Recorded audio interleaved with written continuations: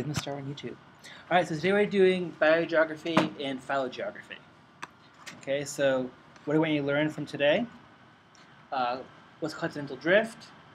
The difference between dispersal and vicariance. Some major, major biogeographic events in life. What phylogeography is, which is distinct from biogeography. Some of the perils of methods. Okay, so like how we do science, how we, how we develop tools to do science. And then some of the uses of phylogeography. Right, but first, a quick clicker question. And by the last one, it wasn't recording properly, so I gave everyone full credit, um, whether you're here or not.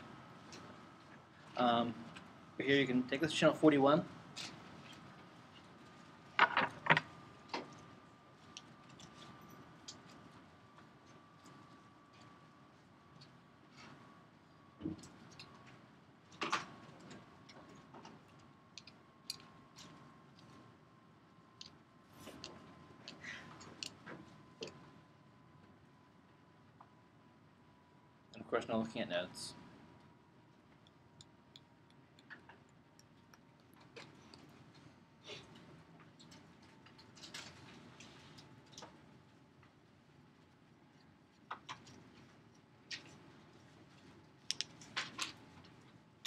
10 more seconds.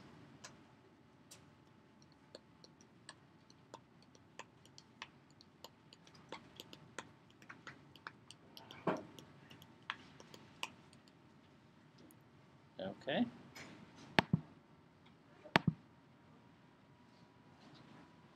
And correct, rotifers. Why are bdelloid rotifers cool? Other than not being extinct. Because they only have one sex. Well, the, yeah, they're, they have to be asexual, right? So they're a metazoan that hasn't had sex for tens of millions of years, um, which makes them surprising because we think about well, when we get to the sex part of the course, talk about how it sort of helps you escape parasites and things like that. And so it's kind of weird that they can survive for so long um, without this. Okay, good.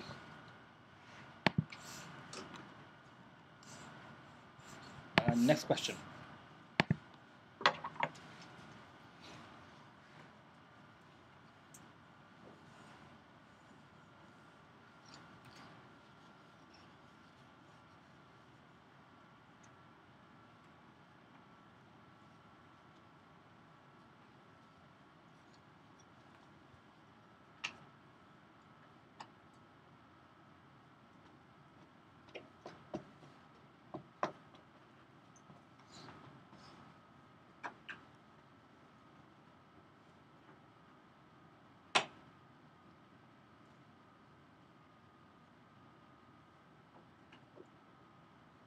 Ten more seconds.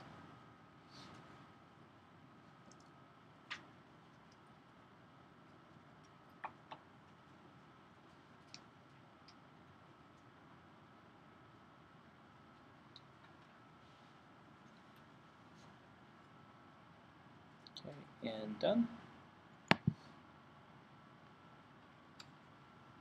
Ooh, okay.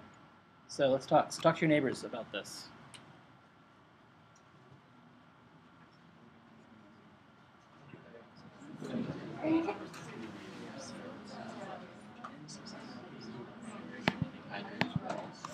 What if I don't use the direction of evolution?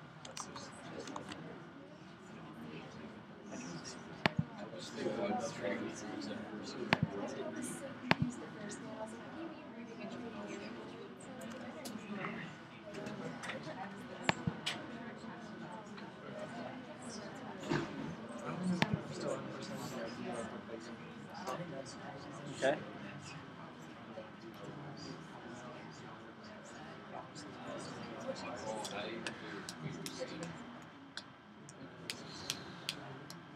Super speed. Perfect. We've got a full, full house. All right, and then we're giving you a do-over on the clicker too, so you can retake the quiz. As long as we decide on anything, or just leave it to the oh, now you care. I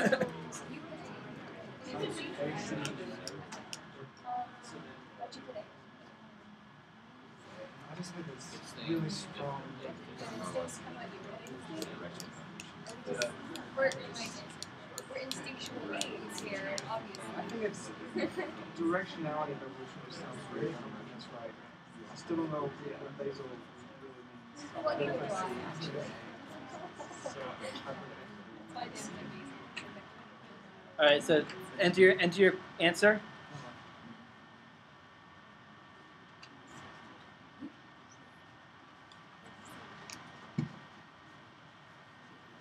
Like clickers is, uh, clickers are good because they can see like, oh, I haven't taught you that well yet. Let's go back over it. We haven't studied well. All right, we took it. Yay. um, sorry, it was. It is. It is this one.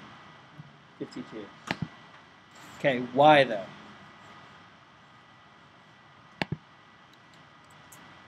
So why is it not A? So let's say why not A?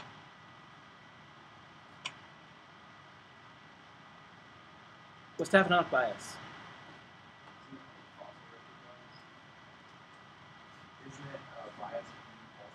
Right. And so, so what actually, what's rooting a tree? Know what a tree is? Yeah, Yep. exactly. So if we have this um, unrooted tree, and I want to say where the common ancestor is for everything, right? So if I say it is here, then I can redraw it as that group, sister to that group. Make sense? Everyone? Okay.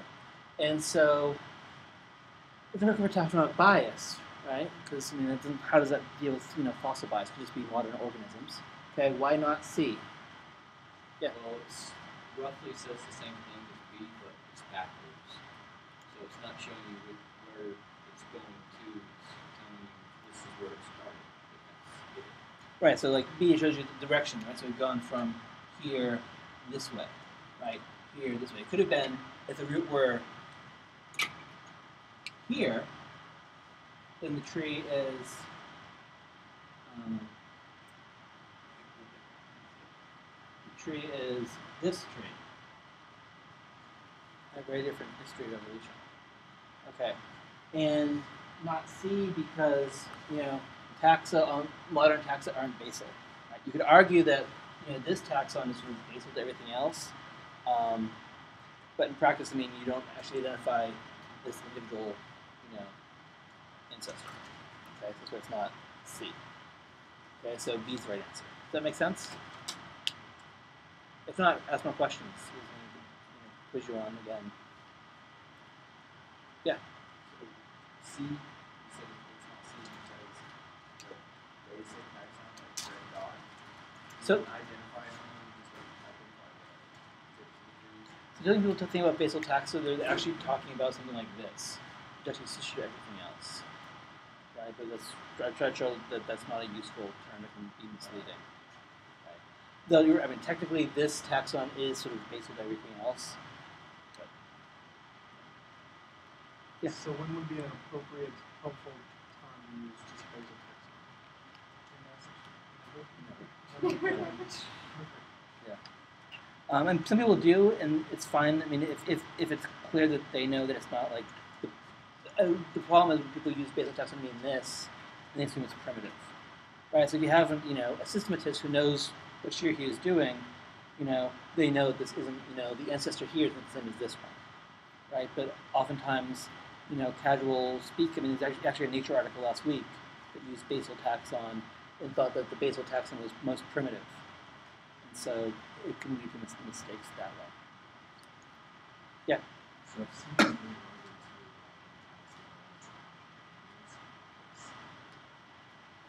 Ah, so yeah, sometimes we say early diverging lineages, right? Okay, so at this split, which lineage diverged first? So they diverged at the same time, right? Their sister. So early diverging is the same issue with basal because you have, you know, you know, why is this path privileged over this path? Right? It doesn't identify a thing. Yeah.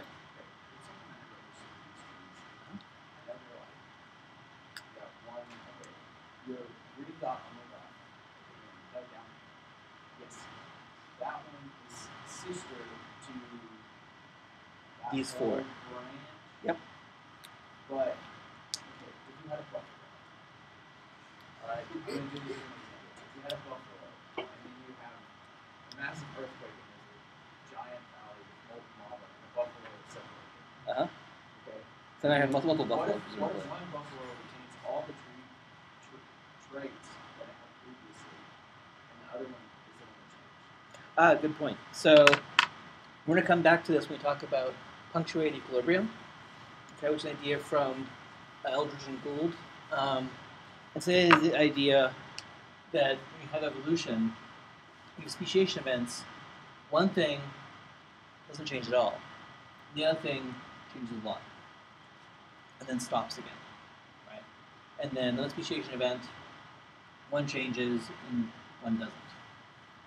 Um, and so they expect a pattern like that, right? And in that case, we still think about it as, I mean, the, the history of the populations, in terms of a time history, is still, right? That's the time history. And what you're thinking about is just the traits. And so we have multiple traits evolving here and multiple traits evolving here. Um, and so yes, you might have trouble distinguishing this one from this one, right? Um, it's thought to be it's considered generally to be a, a different species. This goes in paleontology sometimes when you have you know, something that looks like how it changes something else that has changed. So how is it considered a different species right now? I don't that. Like, Well- sure you kind of see how it becomes. You have that ancestor, and then it's supposed split off, but it's got the same traits as the ancestor before. Mhm.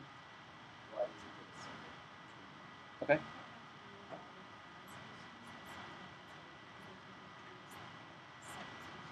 Hmm Right. So we think of species as sort of independent evolutionary lineages, right, rather than morphospecies, which are like just things that look the same.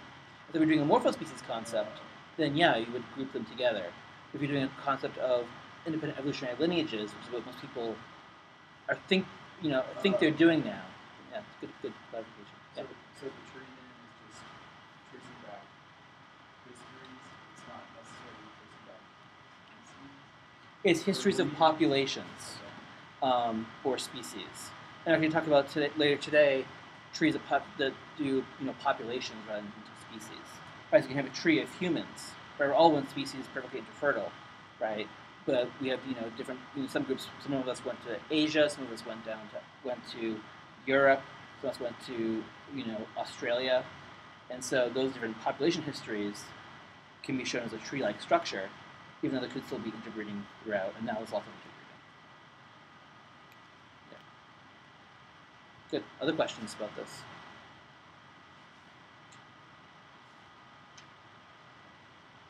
Yay, clickers. All right. So, first up, continental drift. So, 1912, Alfred Wegener proposes continental drift. I'm not going to ask you the date. I'm just giving you the date for context. Okay. Um, and here's how science works. So, reaction was almost uniformly hostile and harsh and scathing. Right? It's a crazy idea. Like, oh wow, look, yes, brands look sort of similar. Now they're moving all over the place. Right? I don't feel them moving. Right? Um, and you know, you have this and various other competing ideas about how things got around. Right? Um, but now we have lots of evidence for this. So first of all, now we can actually measure it. Right? So we can measure distances very precisely, so we can see these condoms moving an inch apart a year, sort of thing. Right? Um, there's also geomagnetism. Who knows what who knows what this story is? Geomagnetism story.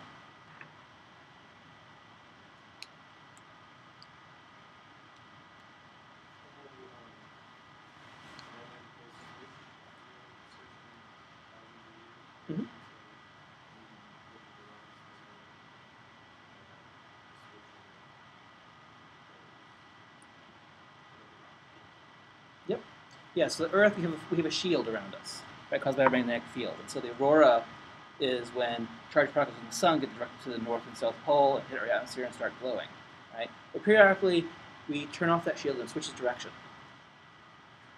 Um, and so what used to be, you had a compass, you know, what used to be pointing north now changes and points the other way. Because even today, our magnetic field is shrinking, it's getting slightly weaker, right? Maybe, we're gonna, maybe it's going to flip soon, we don't know. Scientists still don't know, can't really predict why that happens, okay? Um, but it does. And so when you have a seafloor spreading, like you have in the mid-Atlantic, right, you can go and when rocks are molten, if they have crystals that align to magnetic fields, they'll point like little miniature compasses that then get frozen and the rocks solidify. and you can look on opposite sides of this seafloor spreading and find, you know, these point north, these point north, these point south, these point south. And so you can find these bands that are, you know, symmetric on both sides of this ridge. Right? Why would it be symmetric? Ideas? Right. Right? It's spreading from here. And so here you have molten rock, and then this rock from the same time and is pushed out by more rock, and more rock, and more rock. It's just that rock is spreading out. Okay. And so some of the evidence we have for um, continental drift. Okay, there's also, also lots of fossil evidence we talked about last time. Yeah.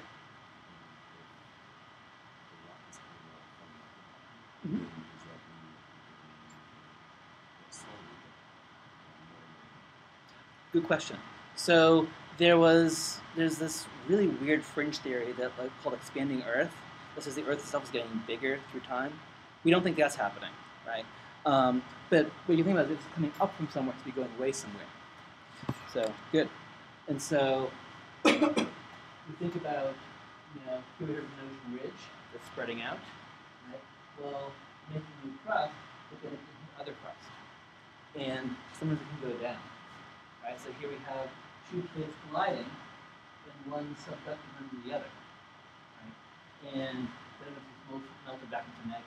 And so things are moving around, but the overall area doesn't change. No, yeah. Oh, great question. So one of the things that Darwin was upset about was um, his idea of evolution requires lots of time, right? People said to him, well, you know, Lord Kelvin, that Kelvin, like degrees, um, has calculated that like the Earth was this, you know, very hot body cooling down. It can't have been cooling for that long because it would all be all solid. You know, it's not all solid all the way through, right? So you require lots of time. But we know from the heating, from the earth, fact that the Earth is melted in, the middle, that's been formed pretty quick, pretty recently, right? And so how do you reconcile, you know, a short-lived Earth with long time for evolution, right? What Lord Kelvin hadn't taken into account was radioactivity. And so radioactive decay inside the Earth's mantle is warming the warming the Earth. And so the reason it hasn't cooled down all the way is because it's generating new heat due to radioactive decay. So it's still it's still cooling, um, but the heat, you know, the, the radioactive, you know, the the fission is keeping it warm. Did that answer your question? Right. Well, I'm sure maybe it's steady at this point. I'm not sure if it's steady or it's still cooling. But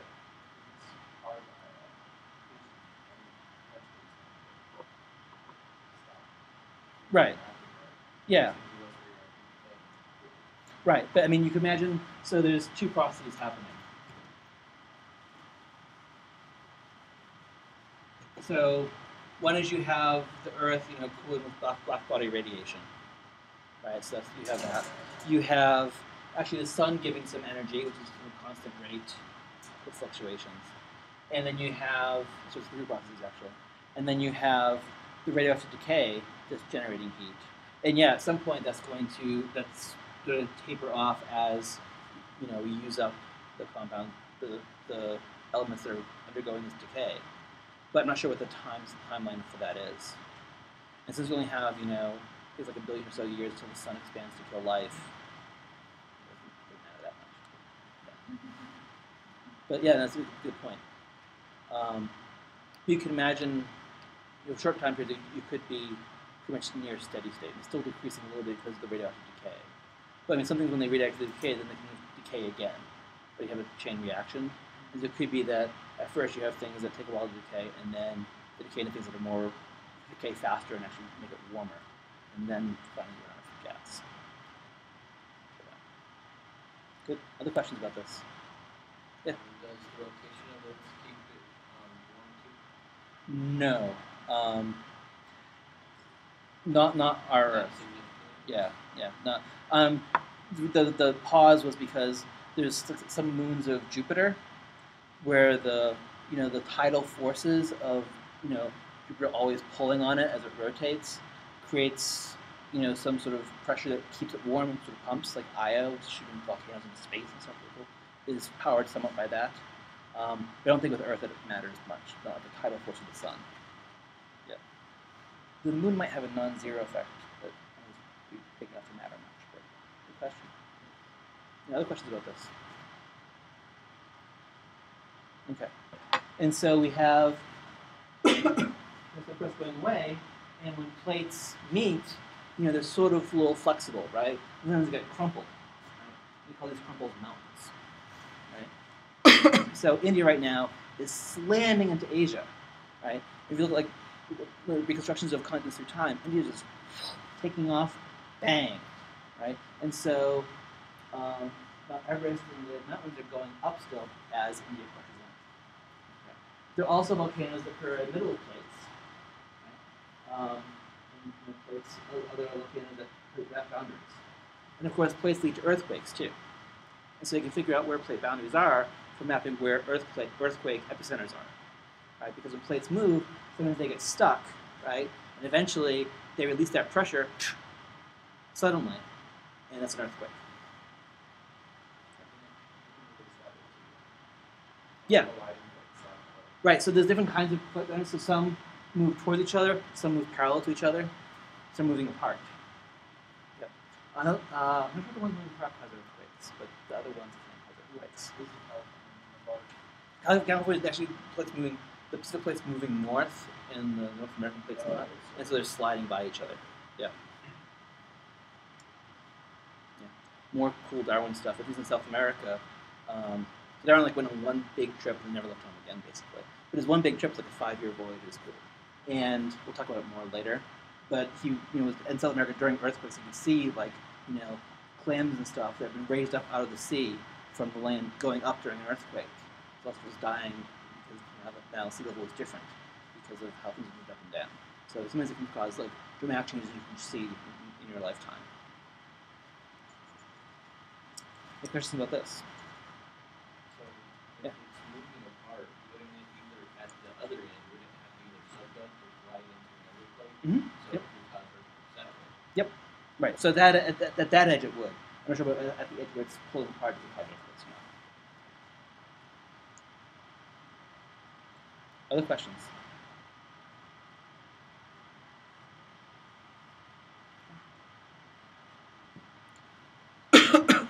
And so we here's the thing about how you know the, the movement of things affects biogeography.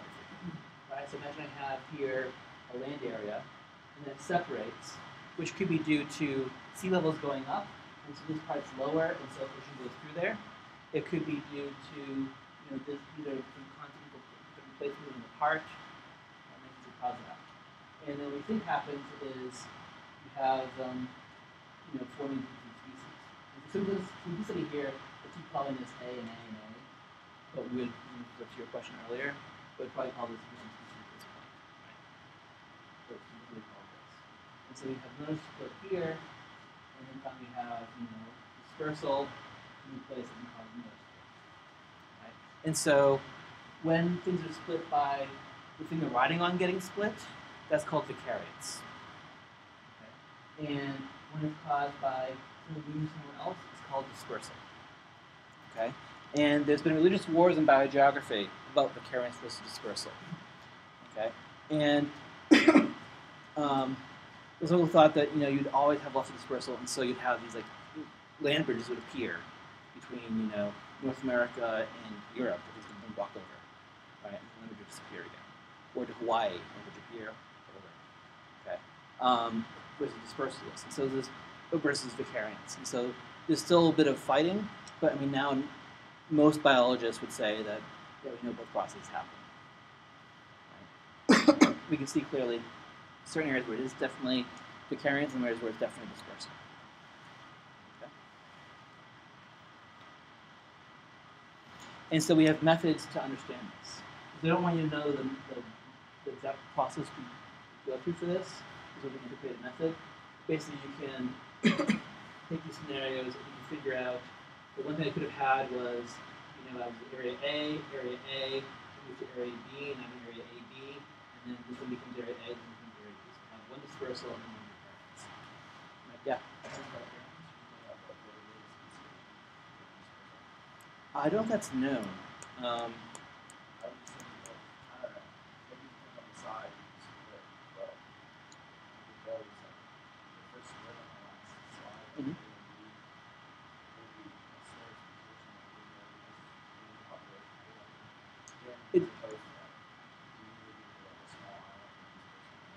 it depends on what causes speciation, um, which is also a big discussion, right? So, when is drift most effective? It happens fastest.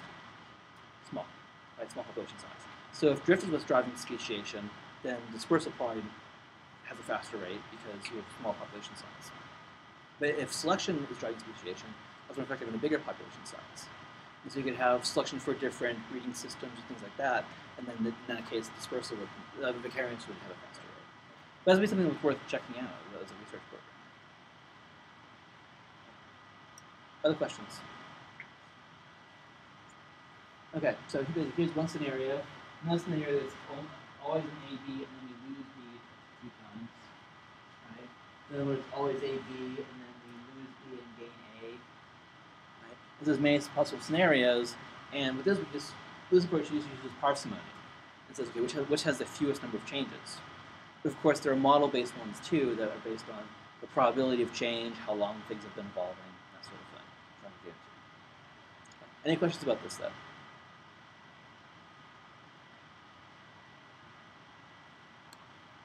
Okay. So, tunnel drift. So here we see Late Triassic, right, 220 million years ago. And here's the world. So where are you on this? Well, I can't tell yet, right? That's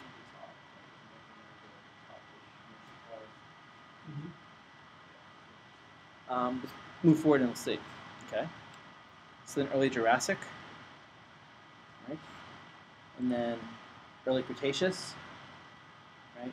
And you see it was Inland Sea as well. Right? And finally, KT boundary, right? So boom, right? So we think there was a large asteroid impact in the Yucatan Peninsula at that point, okay? And so forth through time, through, through the birth time. But look here at India. But 167 million years ago, India is right over here. Okay? Why does that matter? Why does knowing that India, you know, came from, if you look- back, follow India back now, you know, there's like a shell game, where's the ball? Right? So, where's India coming from? Antarctica, India, Gondwana, sort of the southern continents. Here, called Gondwana, right? So it came from there. And then even 65 million years ago, it's right here. Um, why does that matter? Why do we care?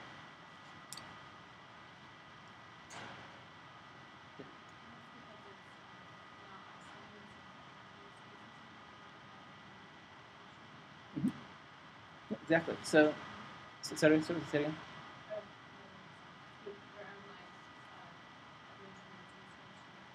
Right. So these are evolving sort of independently. Right. So you know, think about you know we have species now that you know go from Africa into Europe and vice versa, right? But at this point, you know, this is as isolated as Australia is, or South America was, right? So you have entirely different ecology here than here and here. And also, we're, we're the closest relative to these species probably well dead, but the ones that aren't dead, or maybe Madagascar, maybe Africa and the ones that the continent is connected to, right? And so you have ones that are allied to these riding and touching these, right? So interacting with things that haven't been haven't seen each other for you know, tens of millions of years. So think about invasive species now, right? We care about kudzu, we care about um, various kinds of invasive fish. I mean, they matter, right? Now imagine having an entire continent's worth of invasive species hit. We have, you know, these invasive here, these invasive here. Right? This to have a huge effect on the ecosystem. yeah. Mark, questions? Um, Uh-huh.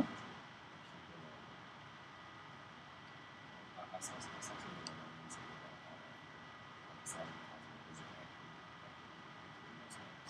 So that's the thing. So, um, yeah, anytime we have a ball, we try this. I mean, imagine skinning an orange, right, and trying to put it flat. Well, you, you can't really do it without stretching certain parts or causing cracks and things like that. And so, different ways we have of depicting things. I mean, think about you know, so this part here, right, it's pretty small on the globe, but on this typical, typical map, you have to sort of spread it out so the top is huge. So you look for this giant thing, right? And so there's different kinds of map projections. And so map geeks, you know, have dozens of different projections. Some that you know show areas accurately, but then stretch things out. Um, some that are good for navigation, where you can plot, you know, this way you can go from here to here. You just plot this course. And so yeah, some maps actually are upside down, that's how we normally do it. Have these biases towards up, it's good or something. So you know, that goes up. And so it's a whole world of how to understand that's a map. Yeah. Um, and it matters for this too because when you think of how far apart are these, well, that depends on your projection, right? I mean, there's a there's a true distance. You don't know to understand it intuitively, that's by projection. Other questions?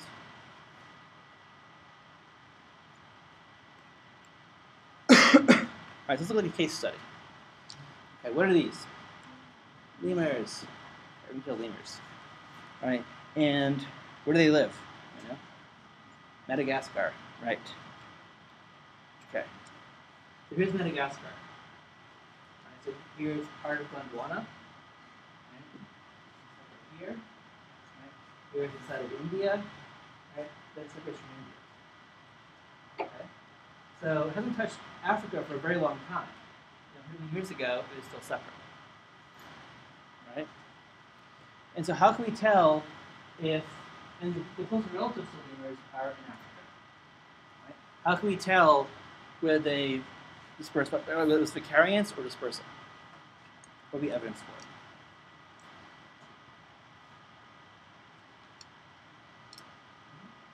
Yeah.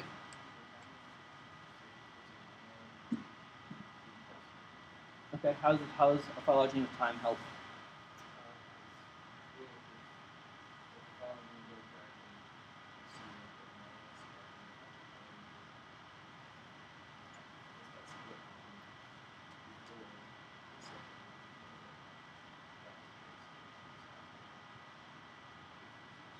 Exactly. So if the split were somewhere between 162 million years and 135 million years, it suggests that it could have been due to vicariance, right? So we had one population here, and then we separated them in one, one way and another way, right?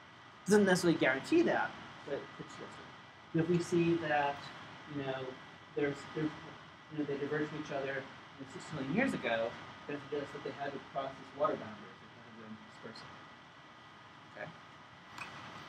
And so, what's the answer?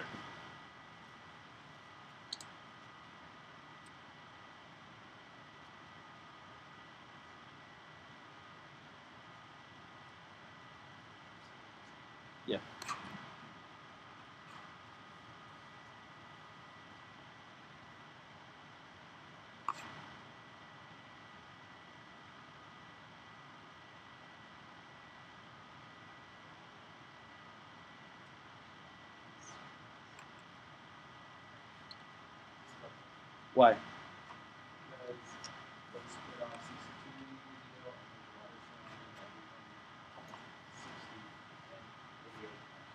Yeah. So probably dispersal with one caveat. Well, two caveats. One, gravity equal to, right? So sometimes with dating, you all you get is a minimum age. It could be that this is much, much older. Okay, probably not in this case, but something else. And the other caveat is it could be that there's some sort of connection that we've missed, right? So maybe the map itself here is wrong. And so that's something to think about too, because these are these are reconstructions, and if sea levels were much lower, maybe they're connected. That's something to think about too. But right, I mean, given this, given the evidence you have, it strongly suggests dispersal. Yeah. Oh, and so there's several, several kinds of evidence, right? So there's um, you can look for when things were connected. You should see same sort rock formations on each side. And so between like you know eastern North, like eastern like Maine and Africa, there's actually rocks you can, you match up between Maine and Africa. These be connected, and that's some evidence for it. Um, you can look to see how if you have molten, you know, solidified rock, that, the igneous rock that has magnetic things, you can see what its ancient orientation was. Right, so I can do some direction there. There's other evidence too, I'm not sure what all the evidence would be. Good question. Other questions? This is the most active class I've ever had. This is great. Okay. Um, so invasive species gone wild. The Great American Biotic Interchange. 2.7 million years ago. Okay. So South America was like Australia. You know, separate from Gondwana, like Australia did, and just sort of cruising on its own. Right. While North America was, you know, touching and not touching Asia. Right? And then they connect. And then you get this spread of South American mammals, or animal, animals in North America, right? and North American mammals in South America. Okay? And so things we think of as traditionally South American ma- animals, like llamas, actually didn't get into South America till two and a half million years ago. Right? And then the relatives that were in North America went extinct. They started down there. Okay? And conversely, things like armadillos came north. Yeah. Uh, on this, it's showing like, how's, are these the ones that were there at first when they hit? Or No, no. showing the switch? It's showing the switch. It's showing Like North so America got the ones brown spots from South America? exactly. Oh, Yeah. okay. Yeah. Right. Peccaries. they came from North America.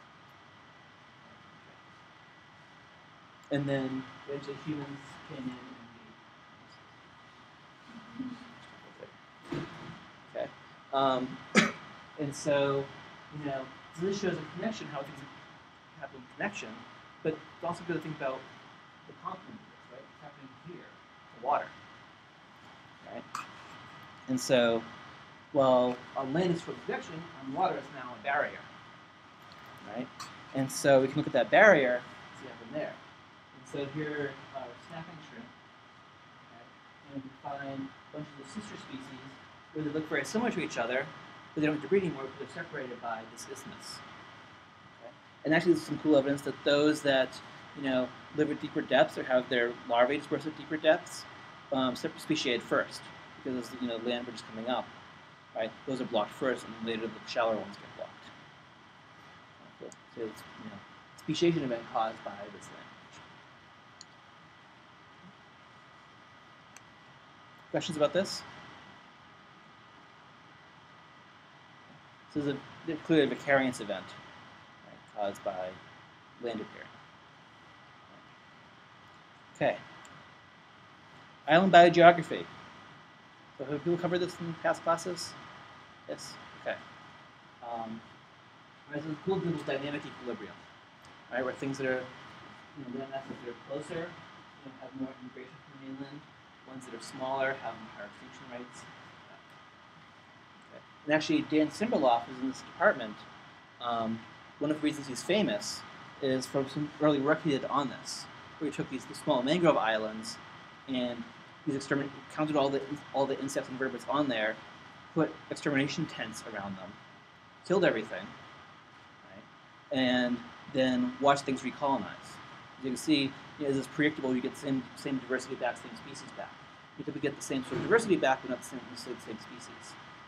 So it's this dynamic. It's very cool result. Any questions about this?